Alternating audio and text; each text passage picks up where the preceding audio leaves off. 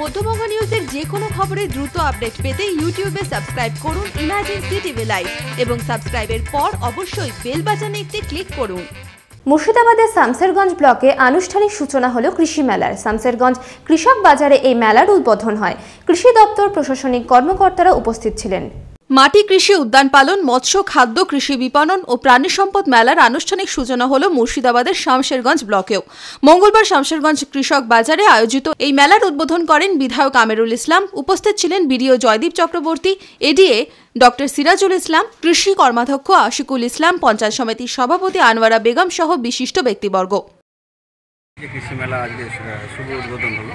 সেই উদ্বোধনে আমরা চাষি থেকে বার্তা দিলাম যে আমাদের যে, এই মেলায় যে বিভিন্ন রকমের যে প্রশিক্ষণমূলক যে টেকনোলজি এবং বিভিন্ন দপ্তর যে প্রতিস্থাপন করেছে, প্রদর্শনী করেছেন, সেই প্রদর্শনীগুলো দেখে চাষিদের নিজের নিজের এলাকায় চাষিদের সাথে মত বিনিময় করে এই টেকনোলজি নিজের নিজের জমিতে যেন ব্যবহার করে, তাতে আপনাদের ফলন বাড়বে, নিজের আয় বাড়বে। পশ্চিমবাংলার কৃষকদের সচেতন করার জন্য কৃষকরা কীভাবে উপকৃত হবে, লাভ লাভ করবে, লাভবান হবে, তাদের ফসল চাষ করে সেই বিষয়ে সচেতন করার জন্যই এই রকম মেলার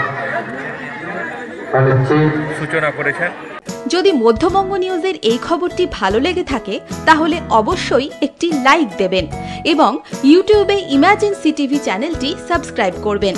আর যে কোনো খবরের দ্রুত আপডেট পেতে সাবস্ক্রাইব করার পর বেল বাটনে একটি ক্লিক দেবেন।